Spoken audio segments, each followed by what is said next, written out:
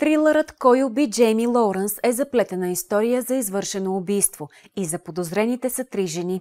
Всяка една има перфектното алиби.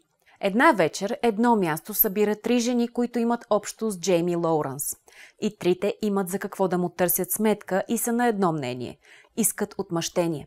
Когато обаче полицията намира Джейми мъртъв, те са първите заподозрени.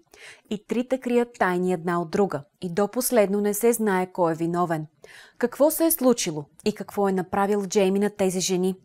Трилърът Кой уби Джейми Лоуренс ще ви държи в напрежение до последната страница. Ще гадаете до последно кой е истинския виновник и каква е причината за убийството.